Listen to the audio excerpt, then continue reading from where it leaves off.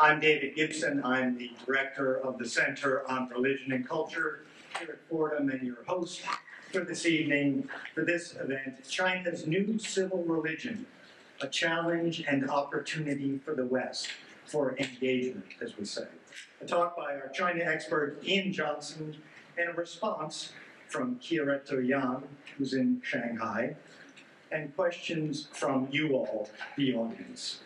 So we welcome all of you here to Fordham uh, this evening in person and to the many joining us from around the world via Zoom, finally.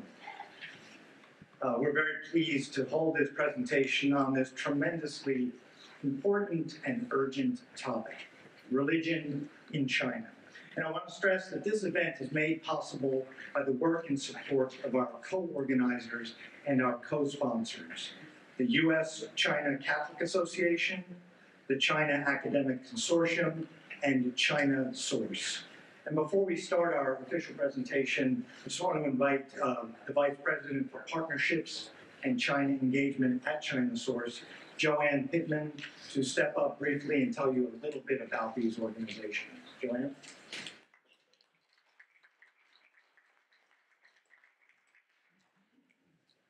Thank you, David, and everybody for the chance to be here tonight. This lecture is part of a joint lecture series sponsored by the U.S. China Catholic Association, China Academic Consortium, and China Source. And our aim is to explore Christianity and culture in China, both from the current situation as well as a historical perspective. The China Academic uh, Consortium, the mission of that organization is to nurture, equip, and grow mainland Chinese scholars and to enhance understanding between China and the West. They have a worldview seminar this summer, as well as an online book club, and you can visit their website if you want to find out more information. China Source, the organization that I represent, our mission is to educate the global church on issues facing Christians in China and to connect Christians inside and outside China. We do this through online publications and uh, webinars and events, you can find us at chinasource.org. The U.S. China Catholic Association um, is was founded in the 80s, and their mission is to um, to maintain fraternal ties between Chinese brothers and sisters and those outside of China. And um, they wanted to highlight they have a study tour, hopefully coming up this summer to China as well as an international conference that was going to be held in the Chicago area. So that's those are the organizations that pull this together, and we thank you for coming tonight.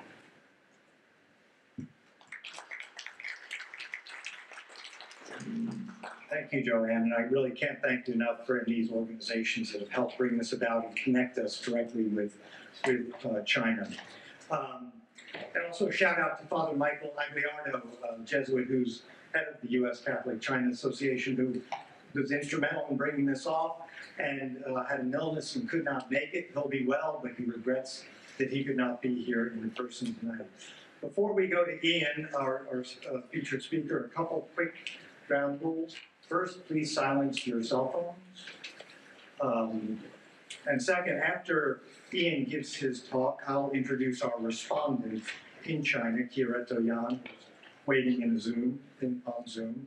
And following Chiareto's remarks, I'll moderate the discussion um, between them and with you all gathered here. So please be ready with some questions, whatever is prompted by our presentations tonight. And remember, we will have a wine and cheese reception after this, and believe me, we'll all need now, Ian Johnson is the Stephen A. Schwarzman Senior Fellow for China Studies at the Council on Foreign Relations, Pulitzer Prize winning journalist who lived in China for more than 20 years. As you can see, he's a regular contributor to the New York Times and author of several um, excellent books on China. And in fact, um, Ian recently had a, a, piece in the New Yorker magazine on Jessica Chen Weiss, titled A Professor Who Challenges the Washington Consensus on China and Ian himself can be very challenging, and we're looking forward to his views tonight. Ian, delivery. So, uh, thanks very much for coming out on this rainy evening, and also to the people on Zoom. Um, I'm here to uh, talk about an aspect of China that doesn't get maybe a lot of attention, and that's the uh, faith and value systems in the country, but especially what I'm going to talk about is maybe even a little bit more unusual. That's what the governments, um, you might think of it as the use of religion or the attempts to use religion. Uh, so I'm going to and I use the term civil religion. We can talk, we'll get into that a little bit later. But first, I wanted to talk a little bit about the background um, to what has been over the past 40 years a kind of religious revival in China. Um, and and what the government's reaction has been to that uh, to that revival, that return of, of faith and values to China. For people on Zoom, I'll have a few slides that are blank. Um, don't worry about that. That's just where I want to take the uh, focus off the image for a little while. But um, the images will continue, and then we'll um, we'll the, yeah. So don't be worried about that. For the audience, it doesn't. For the live audience, it doesn't really matter so much. Um, so talk about the re- return of religion. I'm not sure how many people in the audience are familiar with the situation of religion in China, but basically, in the um, after the People's Republic was founded in the 19 in 1949, there was an effort to organize religion in China into five faith groups: um, Taoism, Buddhism, Islam, and then for administrative purposes in China, Christianity was divided into two separate groups: Catholicism and Protestantism. And so those are the five accepted religions in China. Um, that by the late 1950s, these five groups had been largely overwhelmed by what the party euphemistically called leftist excesses, which meant um, extreme version of, of, of Maoist thought, which erased most of the religious work, the, the at least the legal official above ground religious life in China. Most churches and temples and mosques were closed, and things only really uh, recovered later. So these are, you know, sort of famous images of the destruction of the religious infrastructure in China in the 60s and 70s. Um, and we don't need to go into all of that, but it's just important to realize that starting in the late 1970s, in what we now call the reform era, religious life returned, official religious life, legal religious life returned, but uh, again, only in these five acceptable uh, faith groups Taoism, China's indigenous, religion, Buddhism, Islam, Protestantism, and Catholicism. Um, the government's view in the in the uh, in the uh, reform era was that this should be of importance: economic growth, and this was would be sort of the benchmark for how people should focus their lives. Um, this was actually a picture that I took in 1984 at the 35th anniversary of the uh, PRC in Beijing. This is a giant float showing the ever increasing industrial production up, up, up, 100% 1949.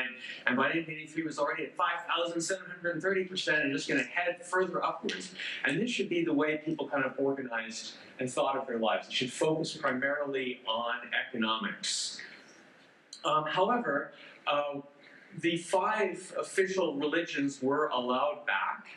Um, they were reconstituted. Seminaries, training schools were reopened, but the party primarily saw it as a maybe a sop to society, as something maybe that older people would be interested in, and then eventually these older people would die out, and China would march towards socialism and then communism, where religion played very little role in uh, in daily life.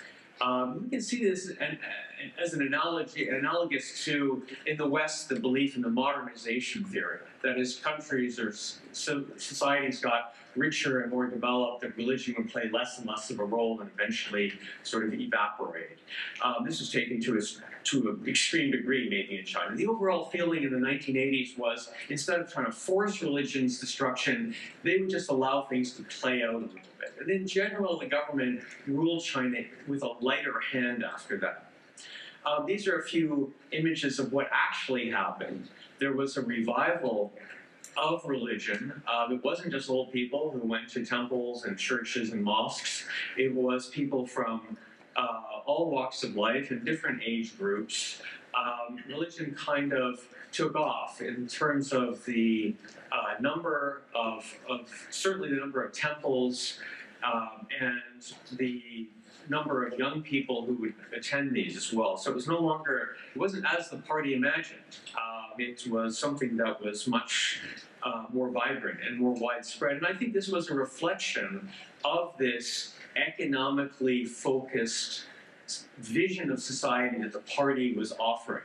That this was not enough for most people. It's not enough, maybe for humans in general, right? To um, to just have um, economics be the the basis of your of your life. Um, so these are some pictures uh, taken in the 2010s of various religious uh, sites, around China, um, churches and uh, temples. Um, the state reacted to this in different ways.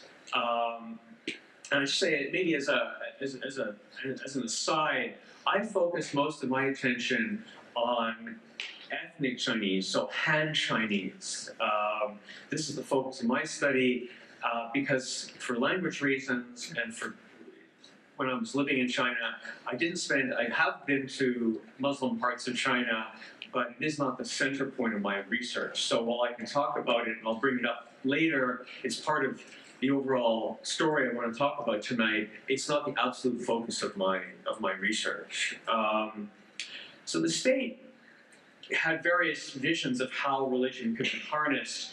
Um, the picture in the center is the former head of the uh, State Administration for Religious Affairs, Ye Xiaowen, who sort of had this idea that religion could be useful uh, in society, that it could be uh, maybe a, a, supplement to the values in uh, society. He eventually, this isn't to say that China had a extremely tolerant view of religion through the 80s and 90s and 2000s, but that maybe, relatively speaking, especially if we compare to how things developed over the past decade, there was a more openness to this. There was a willingness to work with local religious leaders if they were. Um, working with if, if they were working with the local communist party et cetera et cetera and i think that this person Ye Xiaowen in the middle uh, exemplified that, and that's actually kind of a neat um, picture of him sitting with other people um, on stage. But I think that what began to happen by the late 2000s, after the say after the 2008 Olympics, roughly, if you want to sort of date it, these things are never that firm or fixed. But the government began to realize that religious organizations, religious groups were part of a problem, which was the rise of civil society and other groups that were harder to control, including social media. And hence I have some picture of Weibo, which is a kind of Twitter-like um, social media app in China. Uh, and that these, these organizations, not just not just religious groups, but even environmental groups or women's rights groups, environmental organizations, that they were too independent of government control, and that the government had to find a way to react to this and to bring society, that maybe things had gone too far, that it was necessary in the 1980s to relax control over society, and that worked okay in the 80s, 90s, 2000s, but by the late 2000s, that things had gone a little bit too far. Um, so they um, posited the idea of wanting to indigenize Chinese religion. This was something that came up in the, this was first brought up in the early 2010s, about a decade ago. Um, when we think of indigenizing religion, we might think of images like this, um, which was uh, paintings by um, Catholics in the 1920s uh, as a way of indigenizing Catholicism in China, or might think of architectural forms of indigenizing uh, Chinese uh, foreign, so-called foreign religions in China, such as this uh, church pilgrimage site in Shanxi province, or different forms of, say, marriage. This is a marriage ceremony which has some traditional elements. The couple in the front about to kowtow in front of their parents and, and in-laws, but in the middle is a picture of Jesus. This is from a traditional Catholic uh, wedding that I attended in Shanxi. Um, and that, that's those are all ways one can think of indigenization of religion, but it wasn't really what the party had in mind. It wasn't so much trying to make the theology or the form of religion fit into Chinese culture a little bit better, um, but was rather a form of, uh, of, of further control over religion, reasserting control over, over religion. Um, and in some ways, this image, which um, has become quite common in China that religious sites have to show the flag, the, the national flag.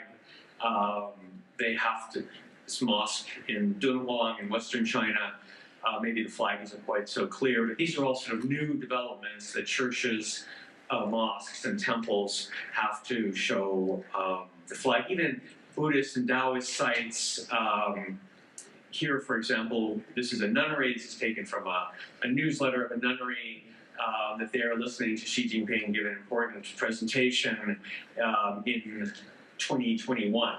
Um, and they're, you know, the, his speech is being sort of zoomed into the to the um, to the temple where the abbess and, and her um, her nuns are, are listening in intently. And of course, they're partially doing this as a show, right? Show where you're listening carefully to the party, we're listening to Xi's speech, etc. But it is a symbol of, of maybe what the party would like to uh, to see um, among religious groups. Um, I think the we can divide the state's reaction to religious groups into two kinds. One are the so-called foreign faiths, and I put them in quotation marks because the foreign faiths that the state has in mind are Islam and Christianity. Um, and yet, Islam has been in China for over a thousand years. There are many ancient mosques um, on the coastline of China where it first entered along the Silk Road. And of course, Christianity has had a permanent, uh, unbroken presence in China for over 400 years. So, compared to the history of religion in this country, that's pretty close, actually. So, if it's if Christianity is a foreign faith in, in China, maybe it's a foreign faith in the United States as well, if you like that. But this is how I think the, the main idea here is that Islam and Christianity have foreign ties that are perhaps overall stronger than one finds in Buddhism and Taoism.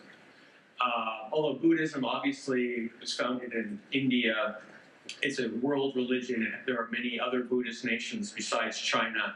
But uh, overall, the party has decided, and Xi Jinping himself has said, that Buddhism has indigenized over the past 2,000 years, and it's now an indigenous Chinese religion. Whereas I think Islam and Christianity are still seen as problematic religions. Um, you know, Muslims are part of the global ummah, the community of faith around the world. Pious Muslims are supposed to go on the Hajj, which means traveling to another country. And over the past 20, 30 years, some uh, Muslims have gone to neighboring nearby countries like Malaysia to study in madrasas and so on. And so the party sees that as problematic. Um, and then for Christianity, of course, there's the global community of Christians, which often supports um, Chinese Christians, and this is also seen as uh, potentially a problem, especially when one thinks of, of the state's interests as primarily being to be able to assert some kind of control over local social groups. So this is where this the state. This is why the state has divided these two groups. Um, and so I'm first going to talk about, a little bit about foreign faiths. This is something that people may be familiar with already from news reports over the past decade. Um, Islam, uh, I don't probably don't need to go into too much detail about the crackdown on Islam or overt signs of practicing one, one's faith in Muslim communities. There are uh, roughly 30 million Muslims in China out of the overall population of 1.4 billion. That's not a huge number, but they, they are overwhelmingly in border regions, uh, including the one that most people have probably heard, Xinjiang, which is the western region in China. This has led the party to ban things such as, well, made, made it very difficult to go on the Hajj. Um, it's made it, considers women wearing the headscarf to be a sign of extremist Muslim behavior, or men who have beards. Um, uh, halal restaurants that uh, do not serve pork and alcohol are considered to be too extremist, and people who are, you know, even in their homes, if they have the uh, you know, often you see in, in Muslim homes, people will have a rug on the wall with the Kabbalah in Mecca. This is seen as, as too Muslim. Um, and so there's been an effort, at, I would call it forced cultural assimilation. Uh, other people use the more emotively laden term of cultural genocide. Um, but in any case, an effort to push down the presence of Islam in people's lives uh, including the destruction of shrines in the desert in Xinjiang and the setup of these re-education camps where people are forced to, uh, well, the, the government would call them extremist deprogramming centers, but um, according to reliable reports, hundreds of thousands, up to 1 million people out of a population of 8 million Uyghurs have been have gone through these camps, so they seem to me like more. There can't be that many extremists. It's it's clearly an effort to uh, eradicate any sort of uh, cultural identity based on religion. So that's and then in terms of Christianity, we have to kind of divide uh, the story again into two. Um, there's Protestantism. Uh, one of the trends that was quite noticeable over the past 20 years uh, is that there was always, from the beginning in China, two churches. This, this, goes for Protestantism as well as Catholicism. There's the above ground legal church, and then there's the underground sort of illegal church. But when religion returned in the 1980s, uh, the government issued a benchmark document called Document 19 and explicitly said that underground churches were okay You know, they thought of them primarily maybe as house churches, as just churches that would meet in somebody's living room, but they could understand why people might not want to go to state-run churches. And so they said, okay, well, that's, that's okay, you can do that. Um, and this then began to develop over time uh, into a very sophisticated and much larger religious group than the government probably envisioned uh, in the 1980s. So the number of Christians, maybe this always gets to, statistical numbers and statistical debates. Um, I'm more conservative on the number of Christians in China.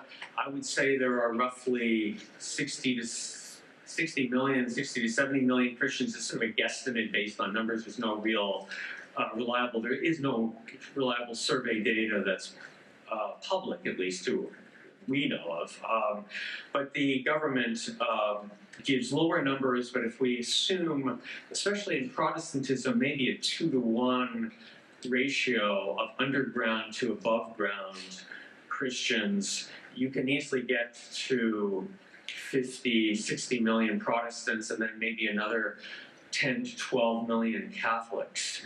Um, again, so in the case of Catholicism, maybe split 50-50 underground, above ground. Um, so these churches began to become much bigger than just house churches, you know, in, as you might imagine, in somebody's living room with some small infrastructure. They became almost mega churches like this picture here that you see on the screen. And the government, uh, they had their own kindergartens, sometimes even their own seminaries, bookstores. Um, they had their own uh, structures uh, for governing, depending on the on the particular denomination. Uh, and these uh, churches, I think, the government began to close them down. These are largely urban-based big churches. Uh, and the government closed them down by saying that they often on technicalities, building construction technicalities, or saying that the lease wasn't valid or something like that. But these big churches were then, in this case, and in some other cases around China were demolished. And there was a, a, particular church that I followed that I wrote about in my book, The Souls of China. And uh, that was in, in Chengdu. It was a big, big urban church called Early Rain. And it has been broke, it, the, the overall superstructure, the organizational structure of the church has been uh, destroyed, and now there are just small, sort of, again, the house church, church living room type structures that, that exist. Uh, this is not across the board, but it's overwhelmingly the way that the government has treated Protestant um, Protestantism uh, by trying to return it to this earlier house church form and to get rid of the big structures because again the structures are civil society these are self-organizing self-financing uh, organizations. They meet the classic definition of civil society independent organizations not under government control. And that is the main problem that the government has with all of these groups. Not again not just religious groups but other groups be they environmental uh, feminist organizations um, et cetera et cetera um, and in you know one case uh, they just said the, the presence of these churches is simply too big in the in the uh, cityscape of, of the area. This was in uh, Zhejiang province. They went around and removed the crosses off the tops of buildings from about uh, several hundred churches. They just simply okay we're not going to have these crosses on top of all these buildings. We're just going to knock them off. The churches can stay but we just don't want to make Christianity so present in our communities. Uh, so it's again the government's lack of comfort in dealing with um, with these groups.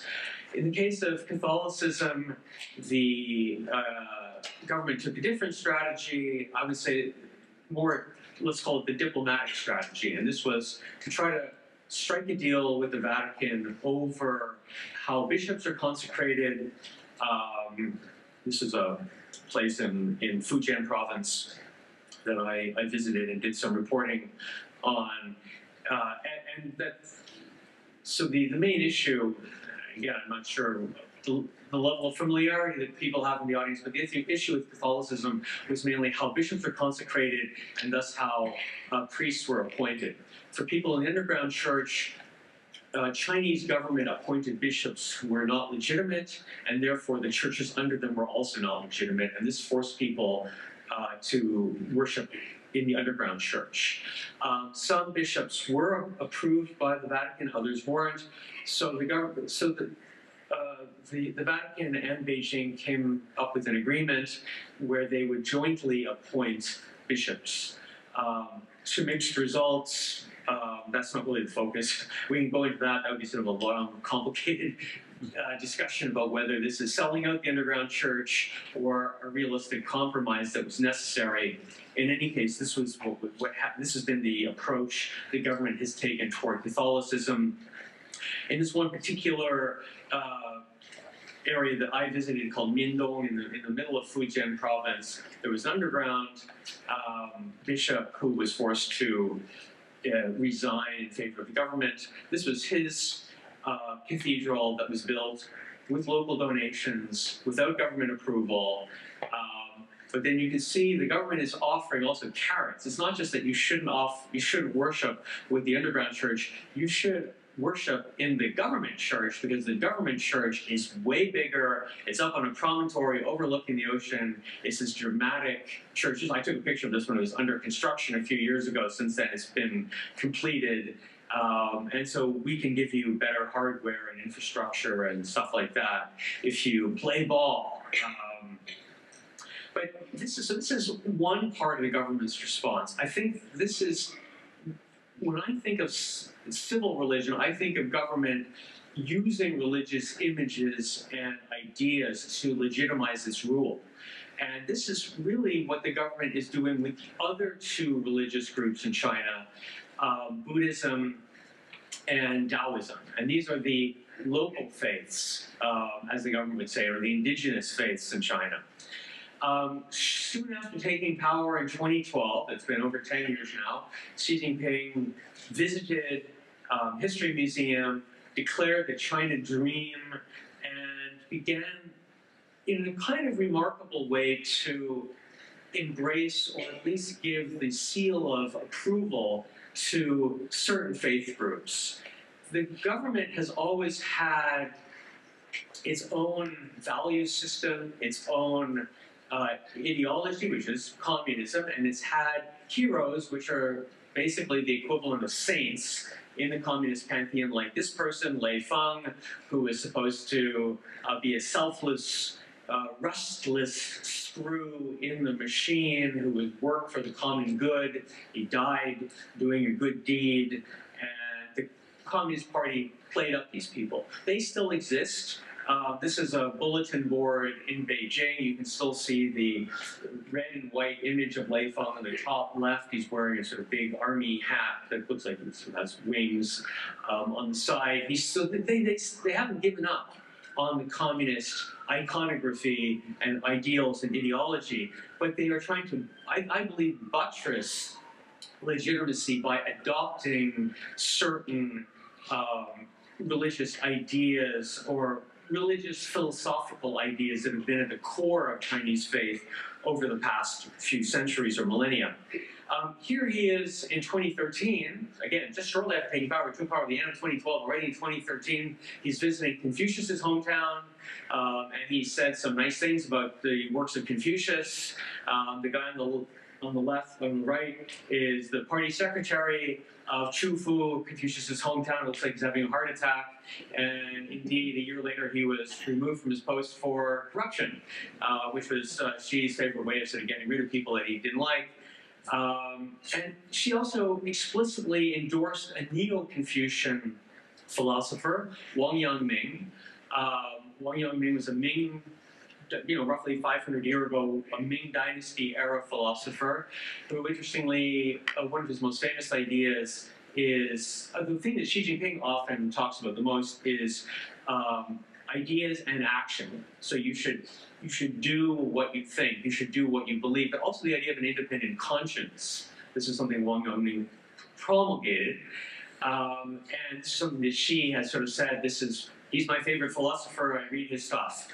Um, and this picture I took at a Wangyangming theme park in southern China, which was made at the site where he meditated in the cave and attained enlightenment and came up with many of his ideas. He was banned by the court. I actually is an interesting, complex figure. That's more than uh, when you look into these some of these people who are endorsed by the party, they might almost be anti-authoritarian figures. He was banned by the court, exiled to the south of China for standing up for uh, his ideas. And while down there, meditated and so on and so forth, and came up with this philosophical idea. Was later rehabilitated by the emperor and served the empire.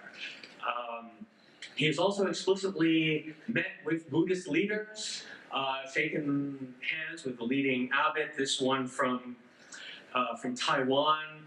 Um, they were, he was given permission to build not just tem uh, temples in China, but also libraries and seminaries, education centers to train uh, Chinese lay people in Buddhist ideas. So this is something that's quite remarkable. Previous Chinese leaders have not done this. Um, you also see there's a huge building boom. If you go to Buddhist or Taoist temples, um, this is a Taoist uh, temple complex near Nanjing on Maoshan. And You can see it's, it's, it's all, this is all, this is all new. Subsequently, this has been completed. Um, and the justification for the rebuilding is that back roughly a thousand years ago, uh, Mao Shan had something like, with a they measure temples by the number of rooms they have in the halls. And you know, now it has something like 500 rooms, but a thousand years ago it had 5,000 rooms, and so they're sort of saying, well, we can easily increase this temple massively um, based on historical precedent. So, you know, in China, uh, there's Chinese history is so long. There have been temples built almost everywhere if you dig. Uh, so you can sort of always find a justification to rebuild a temple or to expand a temple. Uh, but you see this uh, across the country. Um, the other thing, which I think is really interesting, and maybe the most, in a way, if you were a hardcore atheist leader, which you would find maybe the most controversial, would be would be embracing groups that were once declared to be superstitious.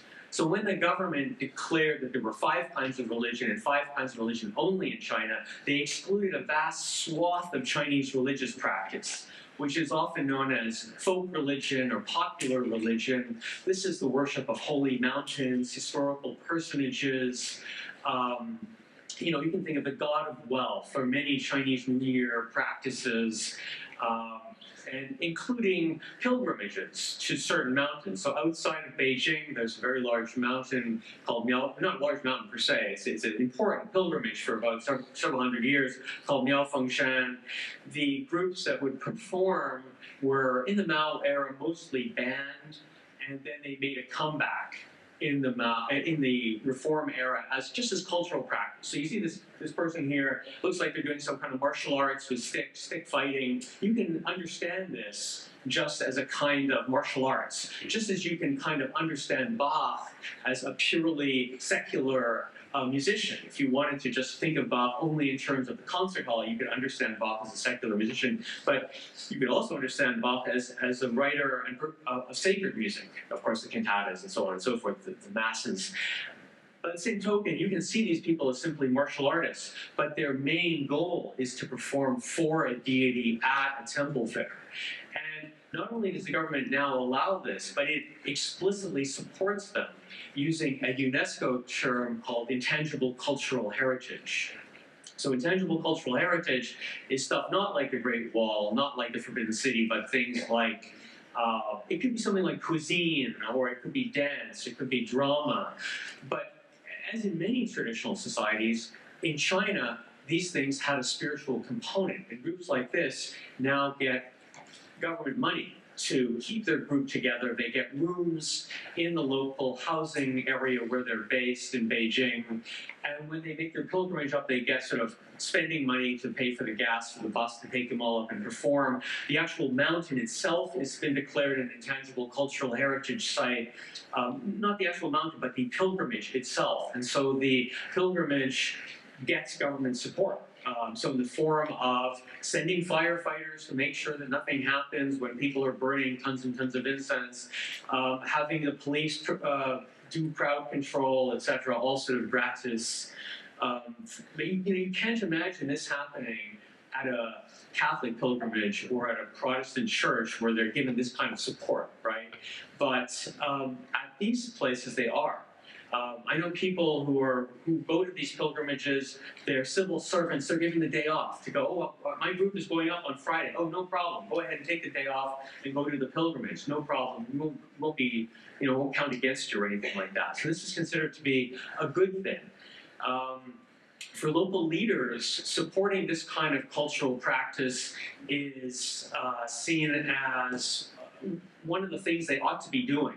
You know, government leaders used to be judged just by economic growth. Are, are they you know, revving up the economy fast enough uh, and making people rich? And is local society stable? Those were the two benchmarks for whether a, a, party leader was doing his or her job. Now it's also, are you supporting traditional culture? Do you have intangible cultural heritage projects? So it's like this race to, to find intangible cultural heritage and to support it. Um, so this, again, doesn't it isn't always religious based. Again, it could be some chef in Sichuan who makes Sichuanese cuisine. They get intangible cultural heritage that has zero religious component. But in many cases, I would say half the cases probably it does when you look at, at, at these. And these are big events, right? This was the, when I mentioned they need to have firefighters on hand to make sure nothing gets out of control. This is why, because when the incense is burned, a lot of incense gets burned on the, the first night, and, the, and a certain uh, nights of the of the 15 day temple fair. Um, you know, you could say so, so. This raises the question of: Is this a kind of civil civil religion that the government is promulgating? It's an open question. I, I think it is. I'm interested in people's feedback, questions, and critiques. Um, civil religion became big in this country through the work of Robert Bellah, a sociologist who wrote a book on civil religion in America. And he was working, I mean, he didn't coin the term, it has an older, uh, you know, history, but he said that certain things in American society that we think of as maybe just, that, that are kinds of secular forms of religion. Um, you know, worshiping the Statue of Liberty and stuff like that, and the way July 4th is celebrated and parades and, and that kind of thing um, has a religious component to it. In China, and this is funny thing shows. Uh, and this is how Bellah kind of, you know, imagined it, this deification, right, of certain things in American uh, political life, essentially. You know, George Washington and all the sort of myths around him. Um, you can also see it in China, even before Xi Jinping. Mao's tomb being constructed right in the heart of Beijing, right in the center of Tiananmen Square. In front of him, this obelisk, the uh, monument to the people's martyrs, right? The, the, the Communist Party has martyrs, and it has a, a cemetery on the outskirts of Beijing that has all, the, all of these martyrs. And it's not just a couple of martyrs. Martyrs go down all the way from national level martyrs to provincial level martyrs to county level martyrs, village level martyrs, who all died for the revolution. And many of them have monuments in their hometown or, or village, or at least some sort of collected monument where people go and lay wreaths. I mean, it's also really interesting if you even look at the religious symbolism in very communist style buildings, such as the Great Hall of the People, which flanks the Mao uh, Mausoleum in downtown Beijing. Um, there is the Oh yes, let me just say this was built in the 1950s and it was opened in 1959 for the 10th anniversary of the People's Republic of China being founded. Um, the columns are resting on lotus petals, which comes from from Buddhism. There are 12 columns which match the 12 columns in the Hall of Supreme Harmony in the Forbidden City. The floor space was purposefully expanded during construction so that the floor space would exceed the floor space in the Forbidden City. Um, it has 34 rooms, one for each of the provinces and regions of China, which is also um, a parallel to other structures that dynasties had in traditional China. And it has, it is sort of united under this, when you go inside the Great Hall of the People, under this great red star, the heavens above it, um, and the seating was also expanded to 10,000. 10,000 in Chinese, yuan, you know, is a very important number. It sort of means limitless, um, and that was also all purposefully built in. Um, so this is even predating the most recent efforts. You can see this quasi uh, playing off religious things.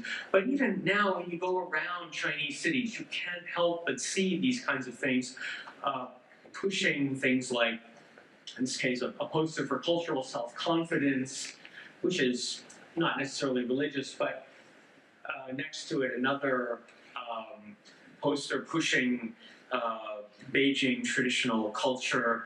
Um, this is at an exercise spot in, in Beijing, just a small little corner uh, park. Uh, which has that, that guy I mentioned before, that Neo-Confucian philosopher in his theme park in the south, Wang Yangming. This is his key idea. Um, talk or whatever, words and action right? Yan, Yu. Um, so you can see these ideas being pushed by the government as a way to, I think, legitimize this rule. Say it is the upholder of traditional values and religiously imbued religious values, uh, cultural values. Um, you know, the so this is all very interesting. I, I think it has certain implications. Uh, we talk about opportunities um, the opportunities could be that we can also see some commonalities in some of these ideas of, of ways to engage with uh, China. But there are also risks, I think, and the risks is that China is a multicultural, multi-ethnic nation. When the, the People's Republic largely inherited the borders of the old Qing dynasty, which included many people of different faiths and, and so on. Um, this is a map showing the, the, the, the Buddhist sites in China, you can see all the red sites are Tibetan Buddhist sites. When I was talking about using Buddhism, uh, that did not include Tibetan Buddhism. That was talking, that was primarily Han Chinese, ethnic Chinese Buddhism, not Tibetan Buddhism. Um, and of course, the western region of China, this is, the, this, um, this is where Islam is primarily located.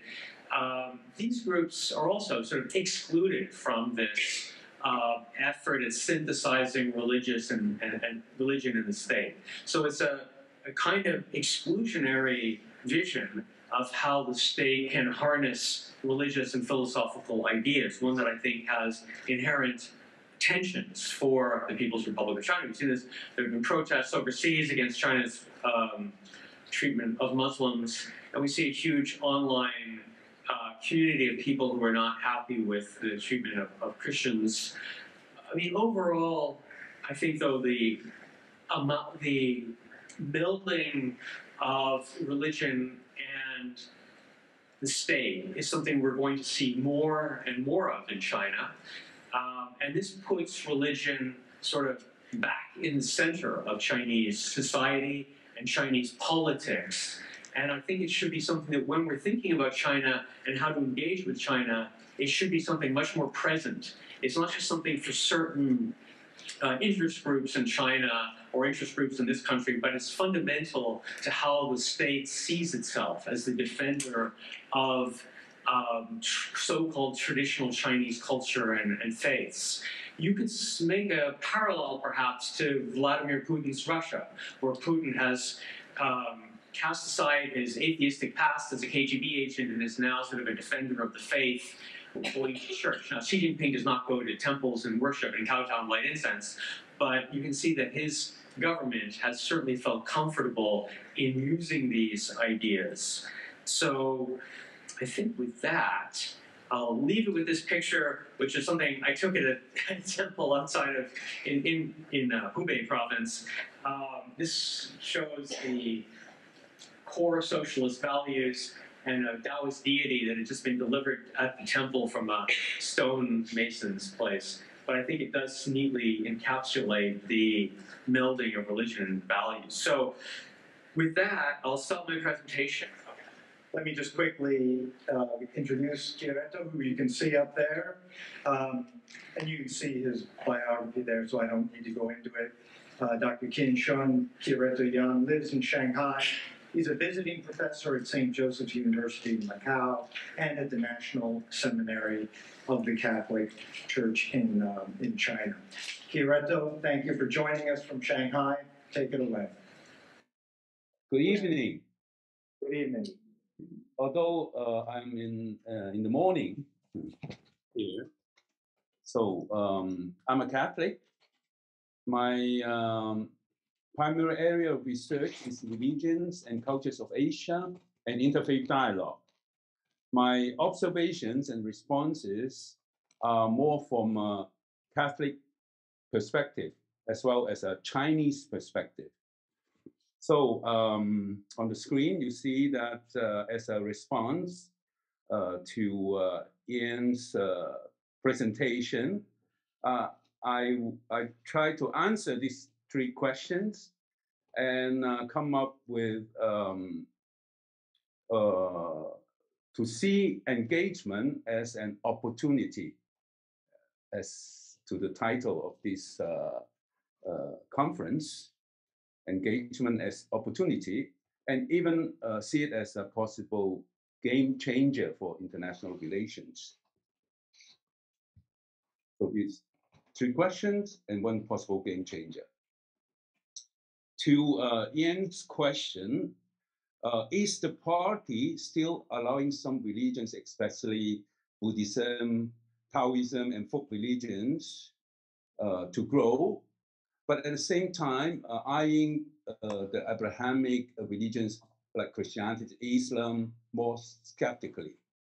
My way of looking at it is more uh, from, from a Chinese perspective.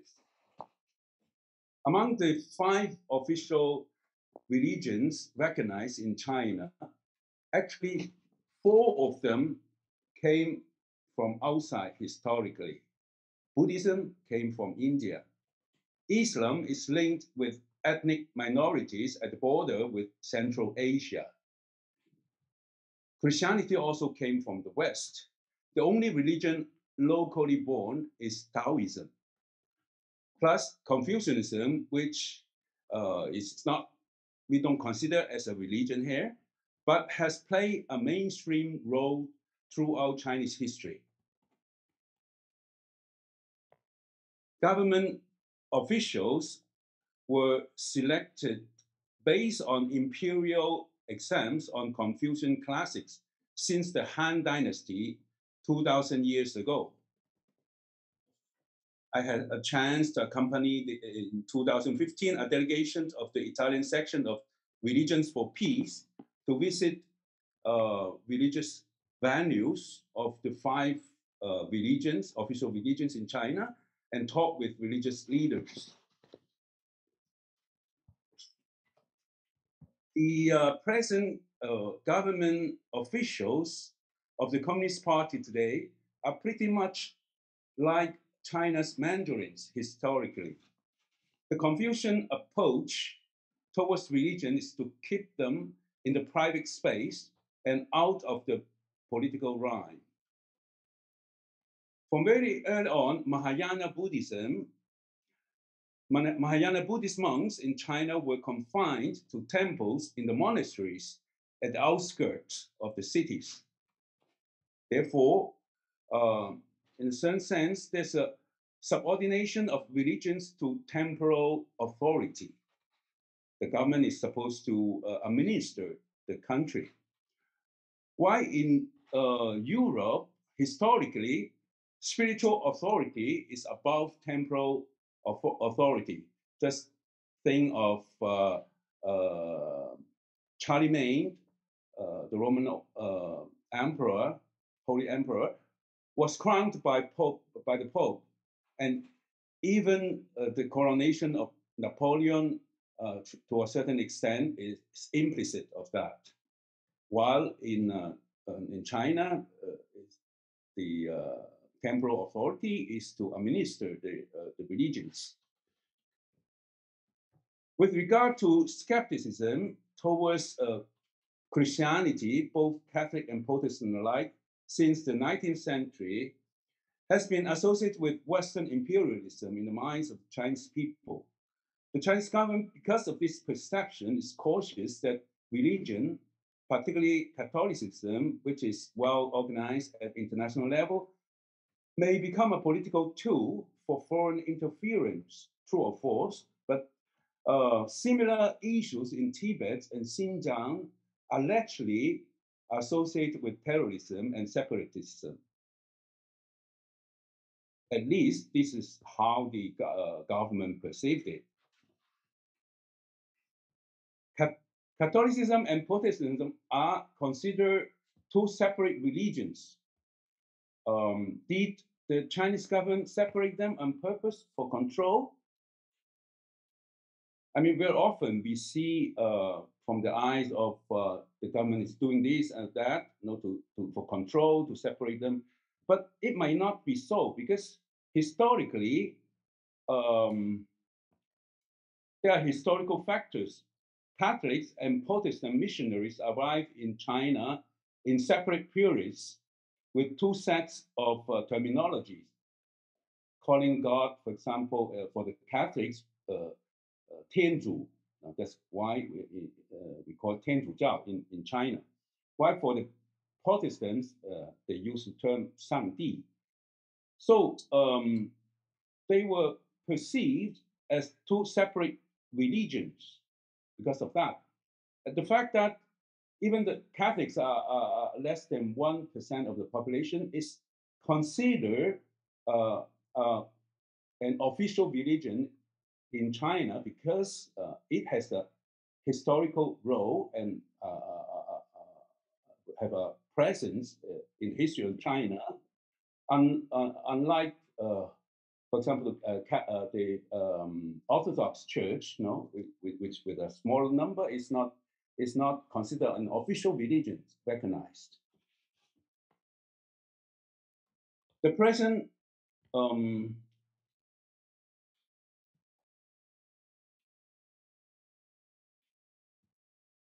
with the open door policy of, of uh, economic reform, uh, actually there was a, a, a, revival of religions after the Cultural Revolution. There have been flourishing of religions, especially remarkable increase of Buddhist and uh, uh, Protestant Christians. But there was growth in the five religions except the, the Catholic Church. I have this big, big question then. At a certain point, how come there is no growth for the Catholic Church? Starting from the 90s, there were summer camps organized by Buddhist groups, Christian fellowship near university campuses. Many young people and students are attracted and join them. We may say that the Protestants are more active in bringing newcomers to their groups. Nevertheless, for Catholics, uh, some dioceses also held summer camps for students and young people. And uh, Catholic student associations were formed in uh, uh, many host countries where students study.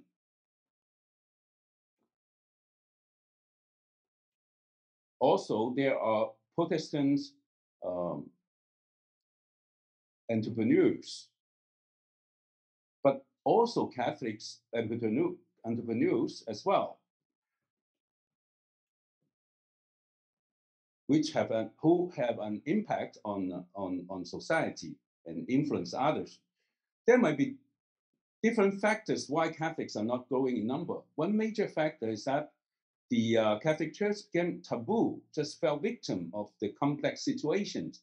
I remember talking to a um, scholar of the uh, Academy of Social Science in uh, Shanghai. He said, "Oh, we it's difficult for, for us to do research on the Catholic Church because it's considered sensitive." And the polarization be- between the officials and underground church, I think, uh, because of polit- politicizing and all that uh, uh, of the situation, it has become a, a main cause of uh, not uh, Catholics not growing. But although as of uh, now, uh, this polarization is diminishing, especially among the youth. Holy See and People's Republic of China have signed and renewed and renewed the provisional agreement regarding the appointment of bishops since 2018. It is a breakthrough. The effect will be seen more clearly in time.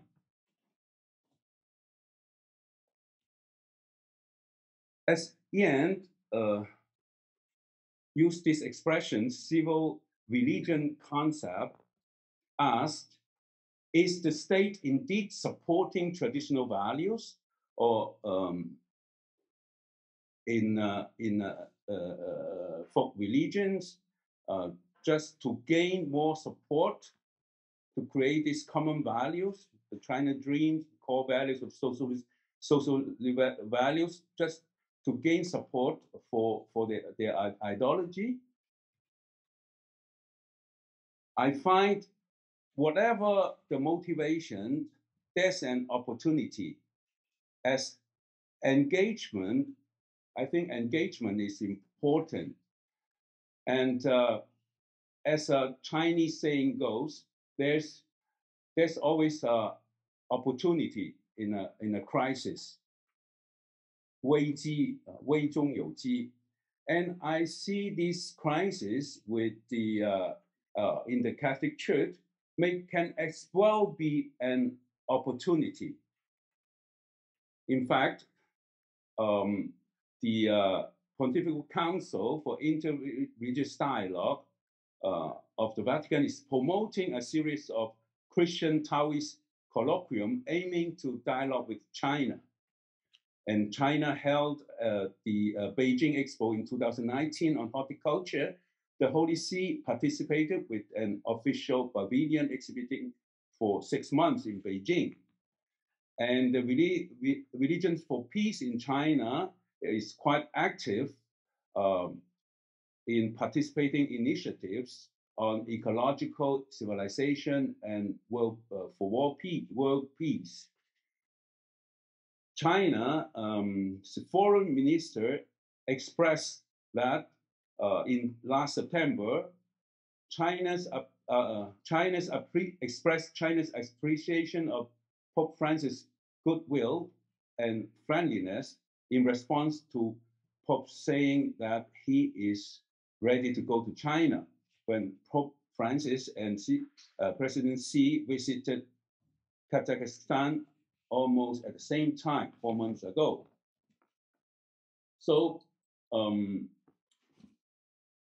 as a, a um, possible game changer, I see that uh, from this uh, crisis to opportunity, if a meeting between Pope Francis and President Xi will come true, if the Holy See China relations would normalize eventually, it will certainly have an impact on the whole world.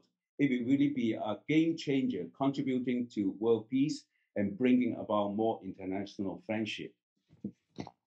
So this is uh, the end of my presentation.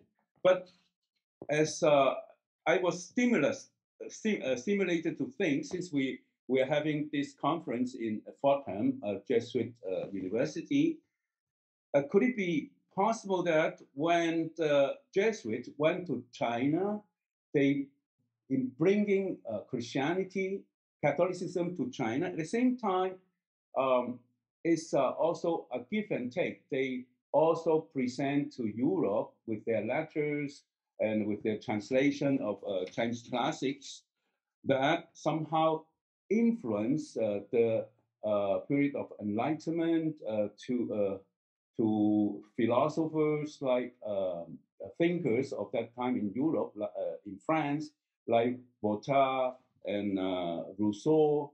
Actually, the concept of civil religion is coined by uh, Rousseau, and as Ian mentioned, that the American sociologists also talk about uh, civil religions and all this process of secularization of religions. Um, and I think it's uh, thought provoking that we can make this uh, comparison. Thank you. Hey, you want to come up? Let's, um, let's get to some questions and answers. Ian, why don't you stand here by the podium? and I'll, I'll take the, um, I want to take this around. What do you want to, just, you just use it here, stand by the podium, use that microphone. I'll stand here now if, uh, folks have questions. One quick question I had for the both of you. Kieto, can you hear me? Can you? If, um, one question I had for you both is why is China even cynically using religion? I mean, the depiction of the sense of certainly Xi in, in these recent years is as a very autocratic person. Why don't they just stamp out religion? Is it uh, something that they can't do, or is it, they just see there's a, a great opportunity there?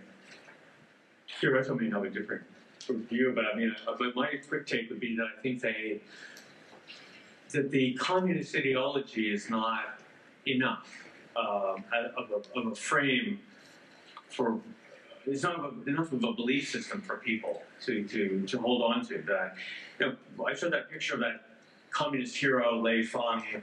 I mean, kids all learn that learn that in the high school, in their you know elementary school textbooks and high school textbooks, but uh, most adults don't really believe in that, right? The fact that he's supposed to be a selfless guy in the Tibetan plateau working whatever, and then there's a fantastic picture being taken of him. It's clearly a propaganda thing, and so it's, I think it's hard for people to really believe or to find those stories to be convincing. Um, so I think that's why they feel a need to at least allow back in a little more of these other ideas, which are more tr- tried and true over the centuries. Civil religion is not enough. Well, that they need to yeah, imbue the civil religion with these traditional ideas. If you have questions, anybody, please. Let me come over and give you the microphone.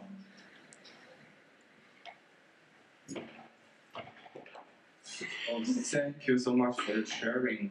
I, I want to know does the support of the government for the Buddhism or Taoism make them better or worse? I mean, uh, because I when I was uh, maybe middle school or high school, I want to choose a religion, but I, I, I I was born in China and in Zhejiang province, the religion is active in that place. But when I met the Christian people in Zhejiang, they, there are some rules that I, I, I cannot admit, like it's not to be, it's not okay to be gay or it's not okay to have sex uh, before marriage. So I think it's ridiculous. So I want to go, I want to go to the uh, Buddhism community. I, I think oh, it, it may be suitable for me, but I think they change their core value to just uh, to support the government. It's not for the original core value. So I think their support from government may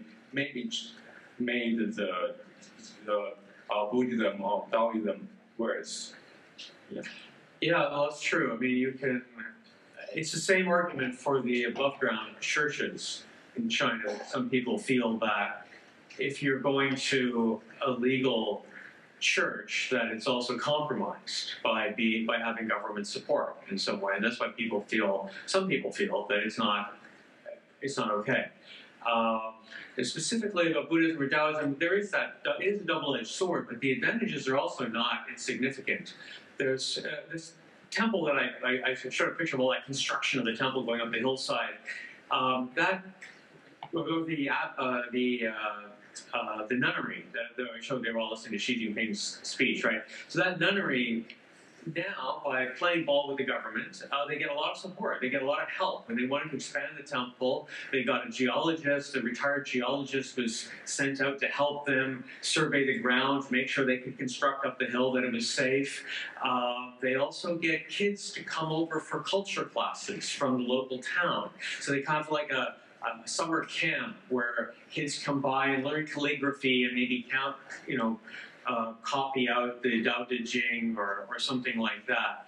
And they don't necessarily believe it. Some of those kids may end up being very sympathetic or believe in Taoism. So it's a way to bring people into the temples. The temples become like local resources for communities, especially for spreading traditional Chinese culture or Chinese medicine in, in Taoist temple. So I think they view this as, a, as an opportunity. So I, I wouldn't, I, I think you're right to some degree, but it's also a help for them.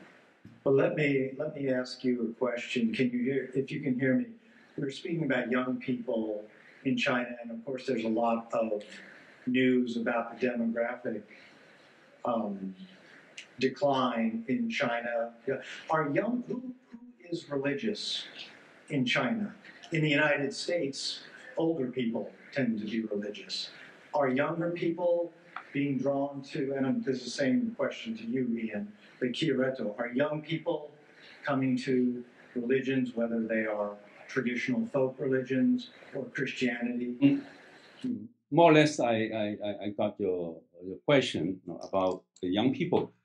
Well, uh, young people are open you know, to, uh, to new ideas, and uh, there's a mm, lot of, uh, I think, more and more uh, exchanges uh, uh, there are many students uh, going going abroad to study in the U.S. in other countries, uh, tourists and, and all that. No, I I I I'm I'm quite optimistic that uh, uh, these exchanges will bring um, bring about uh, changes. the present situation in China, um, very often we emphasize also the foreign media on suppression of religions control and all that. No, but I I think um, young people are, are quite open, are very open to uh, to new ideas, and um, certainly uh, more and more in the future, uh, the uh, situation in, change, in in China will, will, will change, and uh, we are in a in a critical time um, that. Uh, the, the whole world scenario you know, is of tension, um, so I I I'm I I, I think uh, the uh, if we we we we look at things differently, you know, uh, we if we have more exchanges, and even in in in in, the Chinese government, there's a sense of uh, crisis, you know, to uh, facing many many continuous challenges, and and they try to adapt. So I, I, I think the fact that uh, this emphasis on values, common values, uni- universal values, is uh, is an opportunity. You know? So um, I'm I'm optimistic uh, on uh, on the future generation in in China. Ian? Yeah, no, I think that's a great answer. I would only add that I think there is an, a definite effort by different faith groups to reach out. And I think that the so-called traditional faiths, so say Buddhism and Taoism, have taken a page out of, um, especially the Protestant church in China, and tried more explicit outreach. Um, you know, one of the problems that the traditional religions, Buddhism and Taoism, have is that a lot of them are on the outskirts of town, and so they um, will have. And, you know, it's it's sort of a place that people go to just occasionally for a temple fair or something like that. Some of them now use more active uh, methods where they have like Buddhist temples will have sutra study groups on Wednesday nights or something like that in the city, just really copying almost Bible study. Um, and they try to have more uh, outreach to younger people by having. I don't know. One temple had some computer or robot that spoke to people and stuff like that. Um, I don't know who that was. It's a mega church in the United States. Yeah, yeah. But I think there is an effort for sure. I, I do, and I do see it in a lot of these places, younger people. Again, without real survey work, it's hard to give a definitive answer. Yes.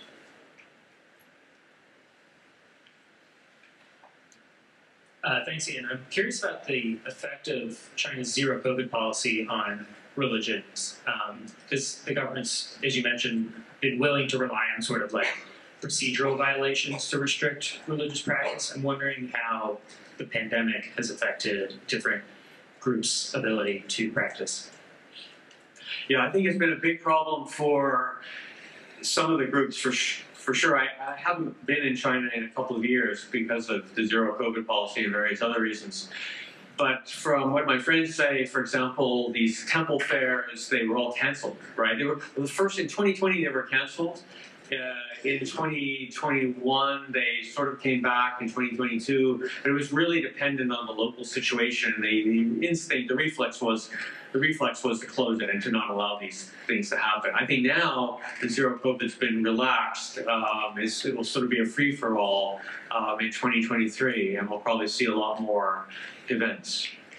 Yeah, well, uh, uh, as for the, the COVID, I think you, you, can see this drastic change of policy. I now it, uh, is uh, normal normal life. Uh, um, I just uh, I, I I live in Shanghai, but just now I'm I'm in the in in uh, in Wenzhou. I, I and then I, I travel uh, visiting some some friends, some uh, Catholic groups, and we, I went to a pilgrimage. Uh, um, I, I, I saw uh, different groups and group of young people visiting uh, this uh, pilgrimage site in Fujian. It's quite uh, interesting that uh, the, we talk of uh, uh, you know um, control and all that, but uh, there are many uh, things going on that uh, unnoticed. No? That I, I think things will be will be normal normalized. Questions? Uh, first, thank you for the presentation. It was re- really inspiring. Um, my conjoined question would be: Can this openness to religious policies be seen as the future evolution of Marxism? Because this can also be seen in other Marxist-leaning countries, for example, Cuba, Laos, and Vietnam. And could, if so, could that mean a perhaps future downplay in international Marxism that can lead to the adoption of capitalist and pro-democratic policies within these countries It could lead to what to the adoption of pro-capitalist and democratic policies within these countries. Well, capitalists, sure, that's I mean that's possible in China. Uh, I think the government has less trouble with that, but uh, democracy, if you mean you know uh, one person, one vote, etc., that was is not the government's intention at all. And I think the government, I think it would that if it ever happens in China, it will be a long way off in the future. I don't know if I could see religion undermining one-party rule anywhere in the near future to be honest. I thought your, in your observation about the comparison to Putin's Russia, especially Yeah. in the wake of, you know, it's similar co-opting. I mean, Russian Orthodoxy is much more central to Russian identity, would you say? Yeah, I think that's probably why, and I think also the reason Putin adopted it was also that Russia, the Russian state, is in such a precarious position and, and remains in a more precarious position. I mean, China still, despite the economic problems and maybe longer term economic problems, has a much more functioning economy. Um, it doesn't have to, they, they don't need to resort to such dramatic, um, say, measures as, say, uh, you know, completely adopting a religion or something like that in order to keep in power. For the government, it can be seen as something that will buttress their ideology rather than replacing. Let me pose one final question. We're about out of time. Uh, just a moment.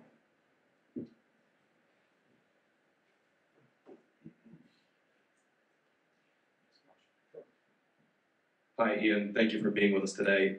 And what I really wanted to ask you is a handful of Western countries, particularly the United States, have accused the Chinese government of human rights violations against Uyghur Muslims, specifically by putting them in detention camps or education camps, beating them, and just the list goes on. And earlier in the presentation, um, you talk about how these groups, such as the Uyghur Muslims or Muslims in general, are seen as extremist. And I want to ask you, why does the Chinese government have such a problem with people like Uyghur Muslims?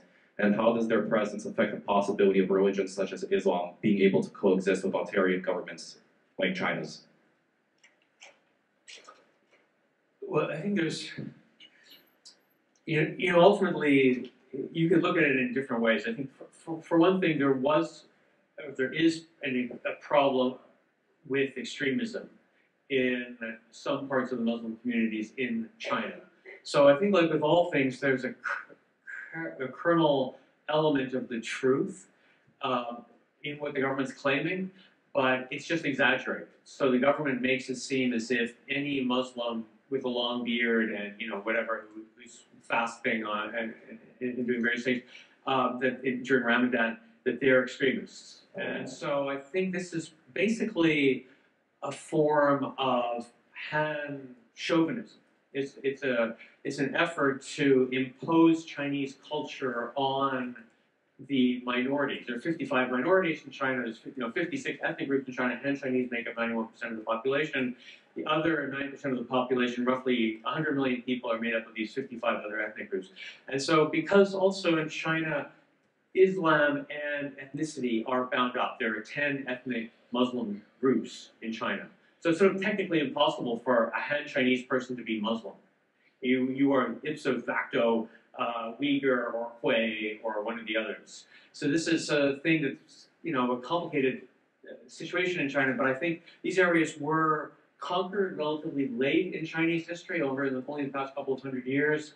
And I think that there's been this sort of steady effort to send settlers out there, to send more Chinese out there, and to make it part of the uh, Chinese cultural melting pot, rather than allowing true autonomy in these regions. I think that's sort of the underlying idea, the implicit idea in these policies.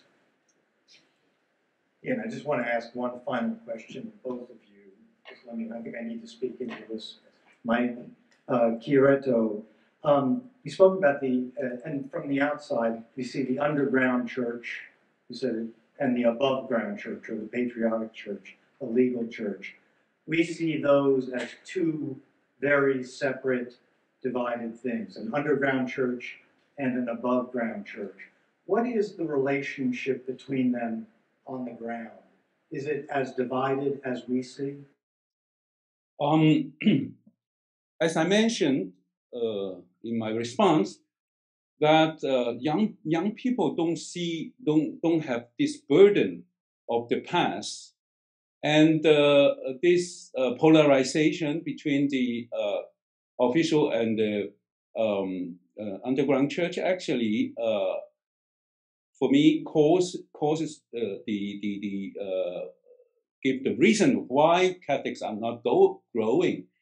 And um, I, I don't agree uh, with uh, uh, Ian saying that the, the bishop um, was forced to, to resign um, in in the in the process of this uh, um, uh, uh, after the uh, Vatican China uh, agreement. Actually, it was an ongoing process. This reconciliation. Only that at a certain point, the, uh, the bishop quit himself. I mean, in this process, uh, and I, I think if we if the uh, continue to to to to work on this recon- reconciliation process uh, with the Holy See, then uh, even the uh, it presents as a, a, a possibility, a, a chance for the uh, Catholic Church to to to grow, to to grow more. So um, I would say that uh, we are very much linked to still to to the past, you know, cultural revolution, and uh, going back to history, actually China has been open, you know, to uh, as I said, uh, religions, you know, coming from from from abroad, and they are recognized as uh, uh, official religions in China. Um, so uh, with the uh, prevalence of, of uh, uh, now uh, even Chinese Buddhism, the Mahayana Buddhism, you know, a certain uh, in, uh, integration, interculturality between foreign religions and Chinese culture.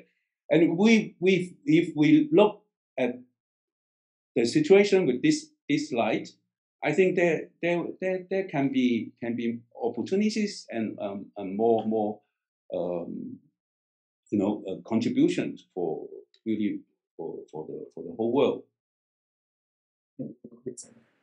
Ian, do you have a quick thought on that, the underground? Yeah, no, I, I agree with, um, I, I think my choice of words forced, uh, to resign is not accurate, it's more like he was asked to resign or given a letter from. Uh, it was part of the reconciliation effort, and I think that, you know, you can say he was loyal and he, he resigned because the, the official bishop was, the government appointed bishop was supposed to take over that, that area. Um, yeah, no, I think, I, I, and I think that it's also quite geographically dependent. There's some areas where the above ground church is dominant and the underground church is minuscule, like in Shanxi province, and then there's other places where the underground church is dominant and the above ground church is small. And that's um, dependent on history and a, a variety of, of things. So it's not like there's they're always clashing. And, and I do think there's we have to wait and see how this plays out. If there can be more bishops approved under this new arrangement, then that could really uh, help the church in China. Thank you. Thank you so much. Thank you.